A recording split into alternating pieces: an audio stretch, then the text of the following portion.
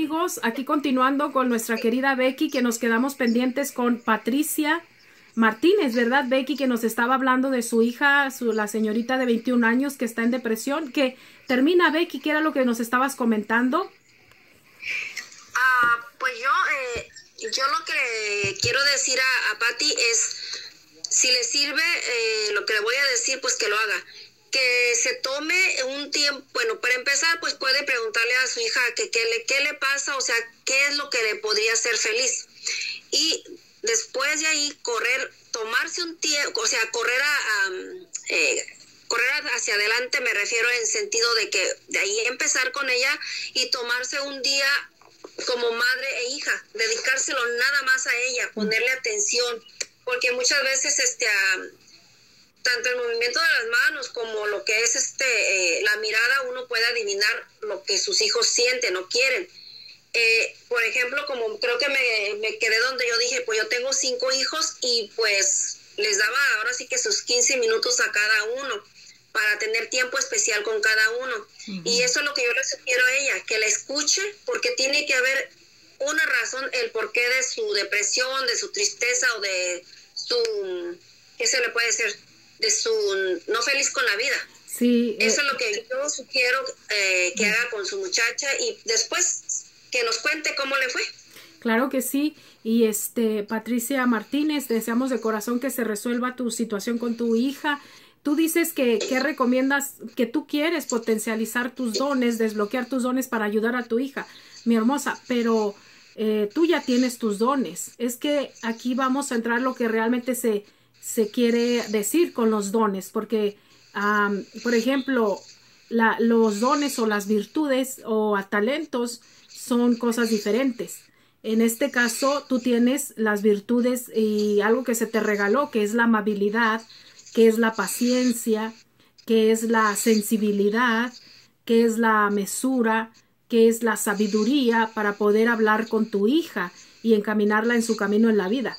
Todos los padres tenemos estas este, inquietudes, tenemos estas cuestiones de que si a veces sentimos cierta culpabilidad de que no somos suficientemente buenos como madres o como padres y traemos como andamos cargando como eso en nuestros hombros, este como que no he sido suficientemente lo que el bueno para mi hijo, lo que él necesita, pero déjame decirte que hay que soltar ese morralito, no hay que sentir esa culpabilidad, porque eso es muy desgastante para nosotros como, como padres.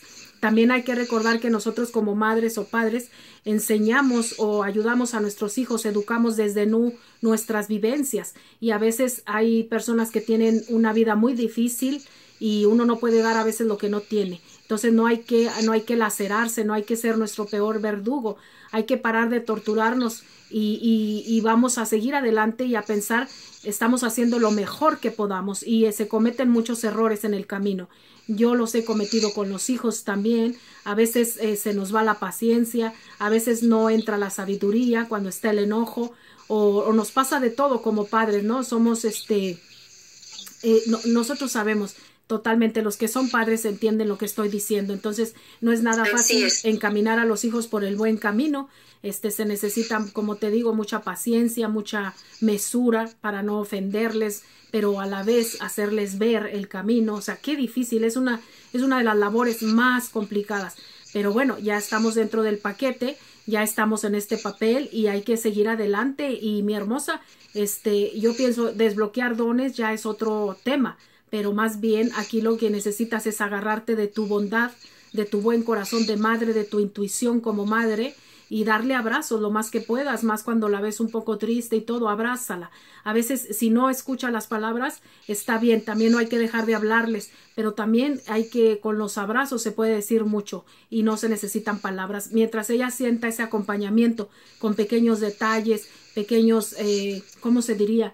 Eh, elogios o recordar en sus momentos que son importantes para ellas eh, o para ellos, para nuestros hijos, no dejarlos pasar porque eso los hace a ellos sentir queridos, sentirse valiosos, sentir que vale la pena estar en este mundo. Ahora, este, por ahí ya lo hemos hablado en otros videos, pero espero que esto de alguna forma te sirva, mi preciosa Patricia Martínez. Mi querida Becky, has este, pasado por una experiencia muy fuerte, no sé si quieras compartirnosla eh, apenas con estos hombres de sombrero. Sí, esos hombres de sombrero, sí. de sombrero ancho, como dicen en mi rancho. sí. Y para terminar con nuestra querida Patti, eh, sí, sí. también no sabemos si Patti este, ah, es madre soltera y, trabaja mucho, o sea que, que la niña esté ya esté gritando a, Por atención. gritos atención, ¿verdad? Porque a lo, mejor, a lo mejor, digo, a lo mejor si es madre soltera, pues es posible también por ahí, ¿no? Por ahí también está la situación con la niña. Es, es más, es más difícil todavía. Aunque fíjate que se han hecho... Es difícil ser, ser madre soltera y, pues darles atención y trabajar, o trabajas o juegas con ellos. Se han hecho este estudios, Becky. Eh, dicen que a veces las madres solteras este, educan mejor a sus hijos. No sé por qué se dirá eso. No entiendo esa parte, pero este, definitivamente los niños necesitan de la figura paterna al igual que la figura materna, pero si es para bien, adelante, y si no es para bien, es mejor encaminar a los hijos solo, ya sea la madre o el padre, ¿no? Porque a veces en lugar de, pues, de ayudar a estos niños a crecer eh, sanos integralmente en su salud física, emocional y mental, este, eh, adelante, pero si no es así, es mejor no estar. A veces es mejor, ¿verdad? Pues sí, así es, mi querida Edith. Y, y bueno, ¿Qué nos cuentas, pues? A ver, yo ahorita me estoy acordando de otra. Tenemos preguntas, ¿verdad? Entonces deja entro de lleno. Bueno. En estos dillitas. Sí, sí, sí, cuenta, cuenta. En estos dillitas que teníamos, que, que no nos hablamos eh, por estos tres, cuatro días, mi querida Edith, fíjate que eh, me fui como siempre a, dormir, pero esta vez eh, me fui a un lugar, no sé qué lugar será, pero me traje muchos detalles. Entonces ahí, pues llegué a un lugar donde yo miré, miré como un tipo, mm, pues yo le digo edificio, pero realmente es como, no sé si alguien ah, recuerda las presidencias de los pueblitos, ya ven cómo son bien típicas de adobe. Arquitectónicas. así. Arquitectónicas. Así, así. Y entonces, este, ah, y, para subir hacia arriba, pues había como unos ocho escaloncitos pero en la parte de abajo, pues yo miraba personas como las personas que no tienen hogar y es como ponen sus casitas de campaña y, miraba unas bancas, arbolitos y el piso se me quedó bien grabado porque el piso era como si fueran de ladrillos. Eh, y yo estaba con alguien más, con dos personas más, pero sabía que eran como mi familia, no sé quiénes, pero yo sabía que era mi familia y pusimos una sábana, una cobija para sentarnos y estar mirando al, al cielo. Eh, cuando yo estaba pues mirando al cielo, pues estaba yo sentada, ya sabes, cuando te sientas y acomodas tus manos hacia la parte de, hacia la parte de, atrás. Eh, y las rodillas así, pues ya sabes, como medias dobladas, mirando el cielo, pues miré pasar una nave. Muy rápido la nave, de las típicas, las triangulares, esta era. Eh, y que yo dije, oh, oh, aquí están, aquí, aquí van. Y en pleno día, pues era en pleno día, este, que yo las miré, pero cuando yo, yo miraba y pensaba, son los hermanos de las estrellas porque tienen que ser ellos, ay, y que yo mentalmente, pues cuando uno les manda un saludo y pues un saludo y dije al cabo, pues ellos, pues se supone que leen la mente, ¿no? Pero entonces cuando yo bajé la mirada otra vez al, al piso, porque no sé si alguien me habló de los que estaban conmigo, bajé estaba una, un, hombre muy alto, eh, súper alto al lado mío, eh, pero mirándome como de perfil. Él estaba parado de perfil y era alto, alto y traía este el sombrero así como pues esos sombreros pequeñitos, ¿no? Que son como cuando sacan el conejo, ya ves qué curiosos son esos sombreros que dicen que sacan la magia y hacen esos sombreritos que se ponen los magos, por decir así. Y traía una gabardina color marrón o color beige por ahí y se me quedó viendo eh, yo abajo sentada y él pues altote y se me quedó viendo y cuando yo dije hoy son los hermanos de las estrellas él me volteó a ver pero con una cara de no no amigos y, solamente me dijo mentalmente exacto fue su única palabra pero era una mirada tan eh, que no tienen sentimientos, como cuando estás como enojado, no estás, estás como entre enojado, entre molesto, como que ven pasar la vida y como si, como que no les importa nada, o sea, como que están hechos de, hielo esas personas. Sí. Eh, y traía sus lentes, los lentes ah, eran como redondos, o sea, como de vidrio redondo, pero transparentes porque yo podía mirar sus, sus ojos en como un color pues como un verde esmeralda más o menos, así como un verde, un verde bonito, ¿no? Sí. Y, y, se me quedó viendo y eso fue lo único que me dijo exacto, como de, te estoy viendo, te estoy vigilando y ya nomás me le quedé viendo porque sí, sí me opacó, sí sentí como, me, me sentí como chiquita, como que sentí su amenaza de él y estaba, fíjate, el parado de él era como con las piernas abiertas, como en tipo reto, ya sabes, cuando se abren con los pies como y las manos en los bolsillos de su gabardina, pero era un tipo reto. Y, y ya allí, ahí se... Ah, pero antes de eso, cuando yo, él estaba a un lado mío, pues yo miré otra vez al cielo. Cuando yo miraba hacia arriba, era de noche. Nada más el universo, eran las estrellas y yo podía mirar la nave que andaba ahí dándole vueltas arriba, como arriba de nosotros y cuando ya bajaba yo la mirada como a verle los pies a él, sus zapatos que estaban muy limpiecitos, negros también, era de día. O sea, si volteaba hacia arriba era de noche y si volteaba hacia abajo era de día. También ahí terminó mi, pues ahora sí que mi astral. Wow. Mira, primero, este, cuando mencionaste la gabardina beige, yo recuerdo que vi uno en el planeta de Marte con gabardina beige que me estaba mirando, tenía los ojos también muy profundamente, eran azules y un cabello blanco, pero él no traía sombrero. Ellos son, me traía una corbata roja, me imagino que son alguna raza, no sé, porque vi una mujer igual con el mismo traje con una corbata roja. Y exactamente, exactamente igual, así beige. De, de, ahora, dices que te dijo exacto cuando, se, cuando tú miraste hacia esas luces que eran como las naves y te está dando una confirmación que sí eran los hermanos mayores, ¿verdad? Sí, Exacto, fue su única palabra porque yo dije, hoy son, son nuestros hermanos de las estrellas. O sea, como yo pues contenta porque sentí gusto, porque yo sentí gusto verlas. Si yo veo una nave hasta en la vida real, siento una emoción, no sé, que no tengo tiempo de sacar el celular y grabar, por decir, porque prefiero enfocarme a verlos. Y, y él me dijo, exacto, pero con la mente, no, no, no movió su boca, me dijo, exacto. Este, la razón por la que tú no ves que ellos tengan este sentimientos es que estos hombres, Becky, ya te encontraron. ya te andan monitoreando. Mira, sí, sí, así es, pero ellos están con una misión, bajo una, ellos traen una misión. Son, son los de los hombres de los sombreros que vienen en, los helicópteros negros. Eh, son grupos, son diferentes. Unos traen traje negro, otros gabardinas así como muy elegantes, pero ellos nada más están como una misión.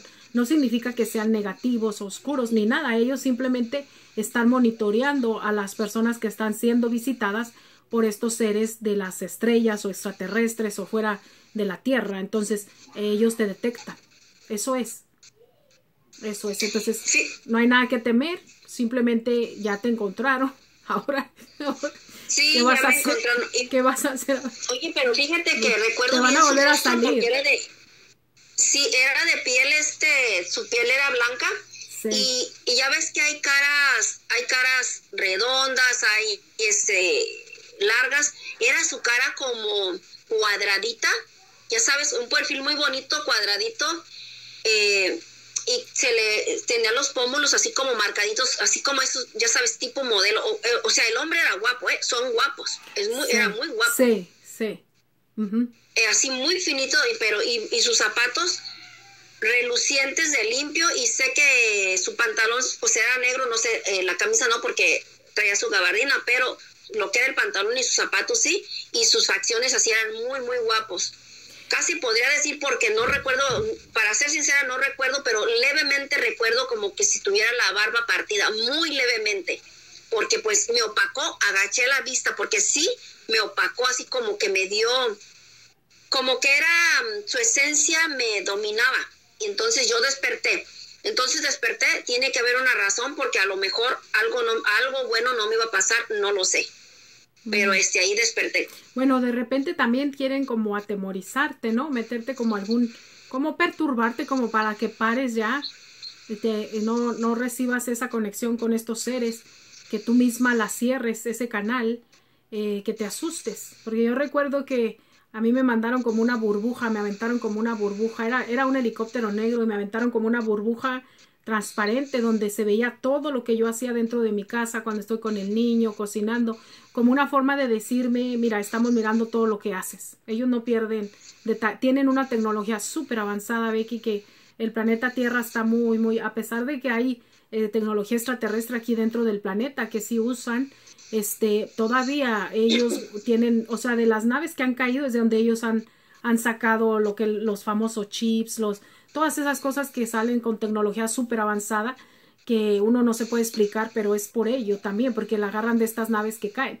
Ahora, eh, a ellos, pues claro que eso es de lo que cae aquí. Ahora imagínate cómo están ellos. Yo una vez me llevaron a un hangar, Becky, y eran unas naves de todos tamaños, una cosa tan hermosa que yo estaba ahí como embobada, embelesada, viendo tantos colores tan brillantes, tan bonitos, pero igual como empiezas a ver de más y pues ellos, mira, y precisamente anoche a mí lo que me pasó en el astral, llegué hasta un lugar, tú sabes, porque hemos hablado por privado de esto, quería yo saber más de cierto personaje, tú sabes a qué me refiero, y tratando de buscar más, eh, me metía en su casa, estuve allí y este, y nada, inmediatamente me pusieron como cuando te ponen una, una, como una sábana para taparte y que no puedas ver. Ya me entiendes, ¿verdad? Sí, te ponen, te ponen la sábana, por ejemplo, como las que nos han hecho cesáreas, vamos a entender así, es que te ponen la sábana para que no mires tu parto. Es así. Así es. Es como, digamos, la sábana del olvido. Sí.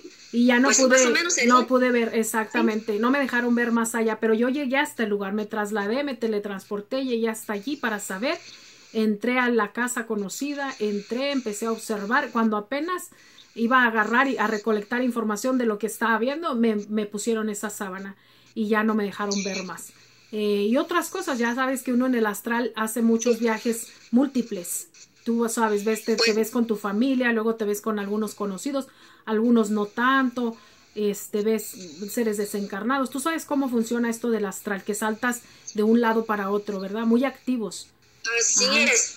Fíjate que ahorita que dices de, de, las naves de colores, eso, eso me pasó, pero de verdad, porque pues tú ya viste más o menos que, tú ya viste que sí puedo ver pasar los barcos, ya ves que estoy cerquititas. Sí. Pero estaba, eso ya será como, mm, ¿qué será? Unos ocho meses, nueve, de pronto ahorita se, se me vino. Era una, pasó tan despacito eh, arriba de nosotros como yo estaba en la calle mirando precisamente las estrellas, pues, siempre salgo a mirar a ver qué veo, pero era una caja, del, bueno, no era una caja, era um, un cuadro del tamaño de esas pizzas grandes que venden, que son las super grandes, grandes, que les llaman gigantes. Ah, esas pizzas. Extra large. sí, las grandotototas. Pero pesó casi arriba de nosotros, pero en la parte de abajo, y yo hasta yo le dije, este, todavía estaba yo este con, mi marido y le dije, mira, a esos, a esos que eso que viene ahí no es un avión. Y él, él tampoco, él era de los que pues no, si no lo veo no es verdad. Y, y, nos quedamos viendo a la lejanía y empezó pues a acercarse, acercarse, y, pero despacito pasó por encima de, de nosotros, pero tenía luces abajo, en la parte de abajo, eran luces de diferentes colores. Recuerdo bien los colores que eran como verde, verde y como amarillo, como amarillos, este, tirándole entre amarillo bajito.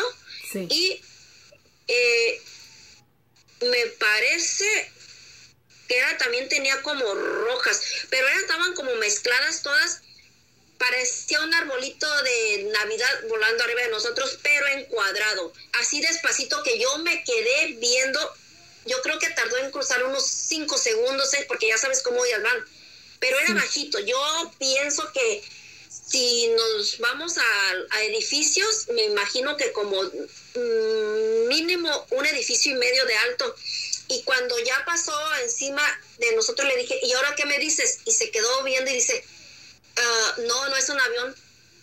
Esto no es un avión, pero tampoco no sé qué es. Y dije, ay, por Dios, estos eh, están enfrente de nosotros y todavía dice que no sabe qué es. Llegó, eh, caminó un poco más, digamos, eh, pues iba muy despacito y, llegando a la esquina, porque yo vivo casi a la cuadra, de, en la mitad de la cuadra, llegando a la esquina, despegó. Dije, esto no es un avión. Eso fue en vivo y a todo color. Te lo creo totalmente. Por eso sí, sí, sí. Dicen que los vistes con muchas luces y bien bonitas, sí, sí son muy bonitas. Sí, a mí me pasó con, una hermana mía que es de las más escépticas, pero que ha visto algunas cosillas y ya no me dice nada, pero en ese, esa vez está, salimos a caminar con los perritos afuera de mi casa y luego yo le dije, si ves aquello que viene allá, la luz, sí pues ahorita vas a ver cómo va a regresarse y se va a volver a dar vuelta y va a ponerse arriba de la casa. Y así exactamente como le dije, sucedió. Y ella solamente me miraba así como, que está loca, que, es esto? Y esa vez se quedó muda, muda. No me dijo no, no me dijo sí, simplemente no supo explicarlo. Y es, es este, es bonito, ¿no? Saber que están cerca, te tocan el corazón, saber. Ahora, también hay que entender, Becky, que también tecnología dentro de aquí mismo del planeta también no la mandan porque también ellos ven, ¿no?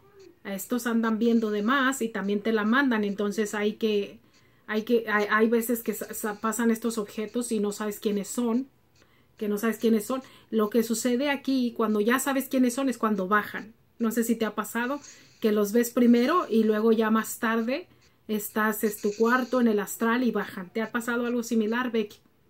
Me ha pasado, no, sí, sí me ha pasado, eh, este, y de hecho no, no nomás en el astral, porque eh, ya te he comentado que a veces escucho zumbidos, bueno, oh, eh, que siento zumbidos en el oído, un chiflidito, algo, y, y salgo y tiro fotos a lo loco. Y tú no me vas a dejar mentir que te que te mandé una foto pues muy bonita. Oh, sí, sí, es impresionante. Eh, y también, pero ¿sabes qué? Siento como que la casa vibra como...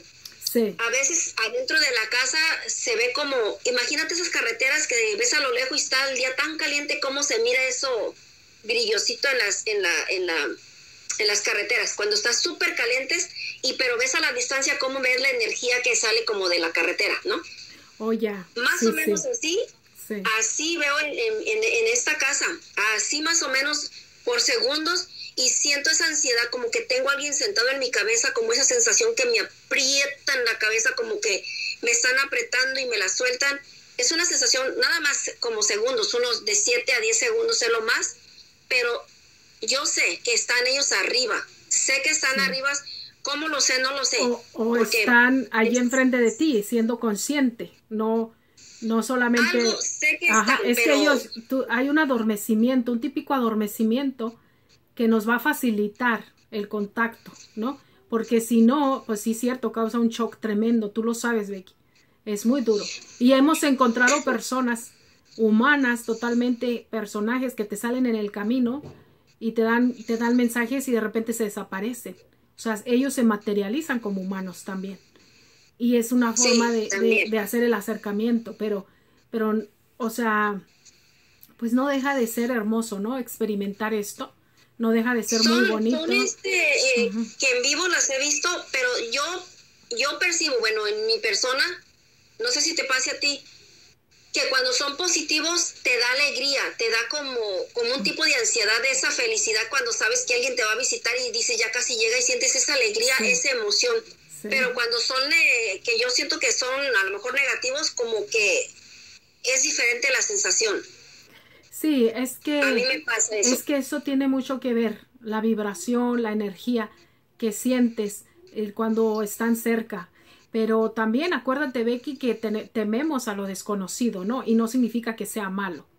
Entonces, pero, pero porque por lo mismo que eh, llega un punto donde agarras experiencia y tú, como tú lo mismo dices, ya sabes, cuando te provocan tanto amor, tanta paz, pues definitivamente son esos seres de luz, que, que, que yo pienso que sí vienen de unos planos que están mucho más limpios, pero muy limpios. Entonces se siente, pues cuando está Jesucristo, tú sabes lo bonito que se siente cuando Él está oh, presente. No, no hay nada comparable.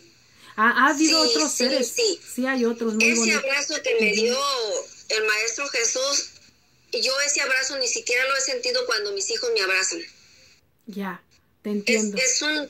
Sí. No, no, es que yo quisiera explicárselo a, a, nuestros oyentes, pero no hay explicación, ¿verdad? No, no sabes cómo explicar eso que sientes. No, yo, yo me da tristeza cuando a veces algunas personas dicen que la figura de Jesucristo no existió, que fue una invención de la iglesia, pero recuerden que Jesucristo es urgente que se desconecte de la religión, porque Jesucristo no era la religión.